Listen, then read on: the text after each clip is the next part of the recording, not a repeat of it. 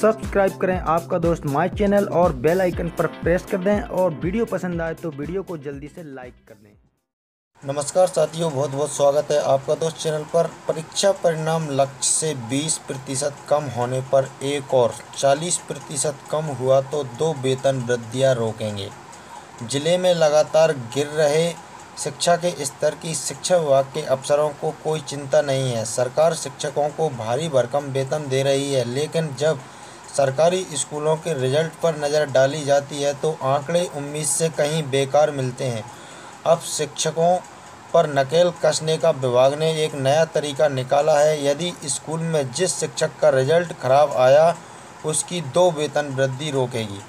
इतना ही नहीं, यदि रिज़ल्ट 40 फ़ीसदी से भी खराब आया तो विभागीय जाँच होगी।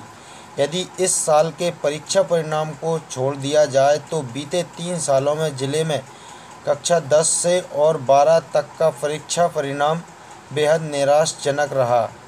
उन्होंने देखते हुए सरकारी स्कूलों में परीक्षा परिणामों में गुणवत्ता के साथ प्रतिशत में वृद्धि के लिए शिक्षाकर्मियों और प्राचार्यों को 30 सितंबर तक लक्ष्य तय के निर्देश आयुक्त लोक शिक्षण जय श्री क्यावत ने दिए हैं। है लक्ष्य उत्कृष्ट मॉडल और अन्य विद्यालयों के लिए अलग अलग निर्धारित करने होंगे। प्राचार्यों से कहा गया है कि वे कक्षाओं में प्रवेशित छात्रों की पिछली कक्षा और त्रैमासिक परीक्षा परिणाम में प्राप्तांक के आधार पर वर्तमान स्थिति का आकलन करें।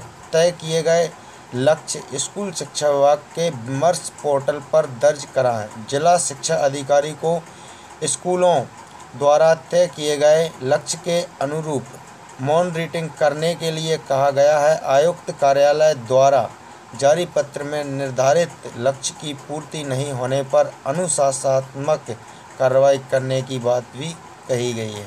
तो दोस्तों, ये वीडियो आपको पसंद आया हो तो वीडियो को लाइक करें, ज़्यादा से ज़्यादा शेयर करें, इसी प्रकार की लेटेस्ट अपडेट जानकारी पाने के लिए।